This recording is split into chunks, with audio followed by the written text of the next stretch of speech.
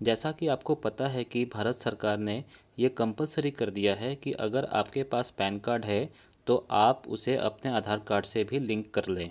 तो अगर आपके पास पैन कार्ड है और आपको ये नहीं पता कि आपका पैन कार्ड आपके आधार कार्ड से लिंक है या नहीं है तो इस वीडियो को आप देखिए, मैं आपको बता रहा हूँ कि आप अपने मोबाइल फ़ोन से ही ये कैसे चेक कर सकते हैं कि आपका पैन कार्ड आपके आधार कार्ड से लिंक है या नहीं है।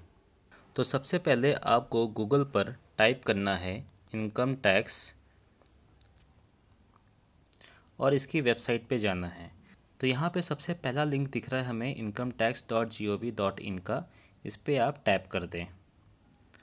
अब ये जो इनकम टैक्स का पेज यहाँ पे खुला है, ये मोबाइल वर्जन में खुला है। तो यहाँ पे आधार कार्ड और पैन कार्ड को लिंक करने का कोई ऑप्शन हमें नहीं दिख रहा है।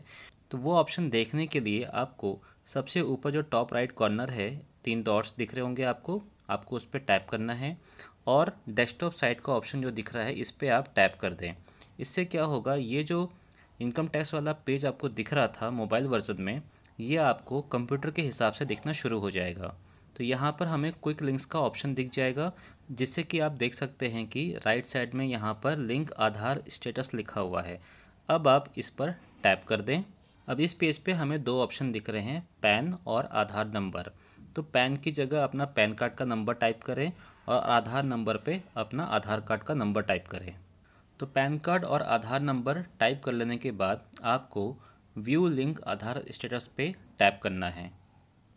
तो मैसेज हमें यहाँ पे दिख रहा है your PAN is already link to given Aadhaar. तो इस तरह से आपको भी मैसेज मिल जाएगा कि आपका पैन कार्ड का नंबर आपके आधार कार्ड नंबर से लिंक है या नहीं है।